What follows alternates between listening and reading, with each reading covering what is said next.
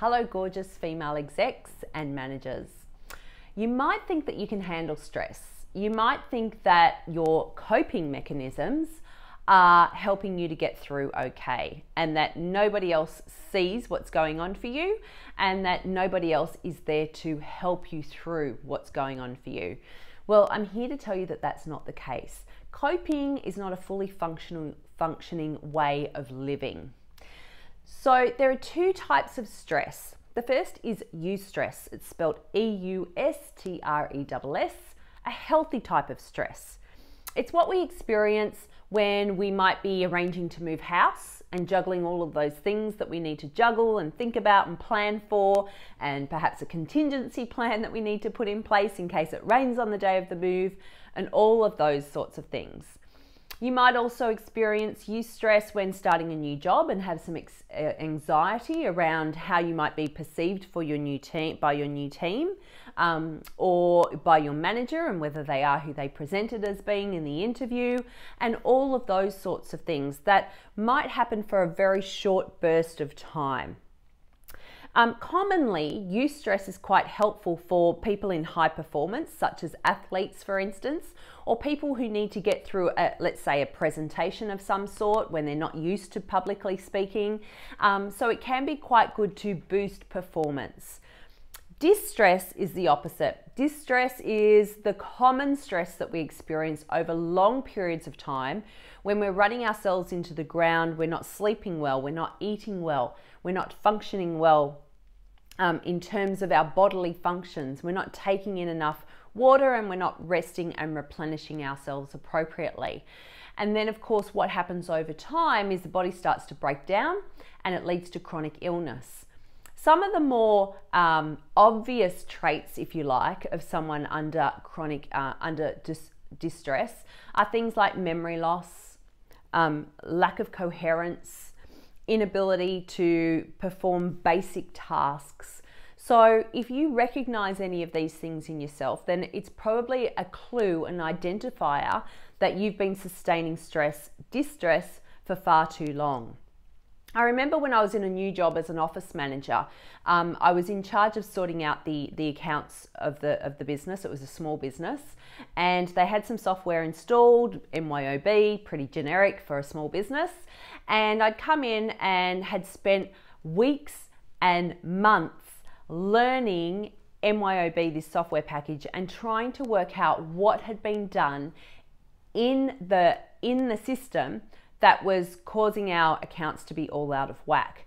And I struggled for this for so long because I had other tasks to do during the day, such as managing the team. It was a team of mortgage brokers and assistants. Um, I had to, you know, order the supplies for the business. I had to organize a trade show. I had all of this other stuff. I need to deal with the client experience, make sure they were getting the right experience. I had all these other things to do as part of my regular day that by the time five or six o'clock came, I could only then focus on this job and this task of trying to sort out what was going on with the software package. And I struggled with this for so long that it kept me awake at night. And when I did finally get to sleep, it woke me up with bad dreams and nightmares about what was actually going on. Um, I felt incompetent for so long. I took up smoking again after two and a half years. Not great. Um, I don't any longer smoke because I've learned to deal with things like that. Um, and uh, migraines came back. Migraines came back for me more powerful than ever before. And I really lost my life because I was working excessively in this job, thinking I was not doing enough to learn the system, that I wasn't understanding something, that I wasn't intelligent enough, I wasn't capable enough. And all the while, I then realized after a conversation with the owner of the business that I should just contact the accountants and they would have some insight and sort it out for me. All the while, I didn't know that the software package hadn't actually been installed properly. So, this caused me a whole lot of personal stress, a whole lot of distress and I fell into chronic pain and illness as a result. And what this highlights for me is that sometimes we keep doing, doing, doing, we keep plugging away at things, thinking that it's us, thinking that we're incompetent, or thinking that we don't have any support, and that if we speak up, we won't be supported, that we don't have that acknowledgement from the people around us. And I really like to share with my clients a different strategy and a different mindset around why you do what you do and how it is that you can elevate your influence um, by really stepping up how you relate to people and what you're going to do differently so that you don't fall into this pattern of chronic distress and chronic illness. So, I just wanted to share that because I think it's a pertinent time for women in corporate who are doing, doing, doing, and perhaps feeling out of control, perhaps feeling like they don't have the answers, and perhaps feeling like there's no one else for them to ask.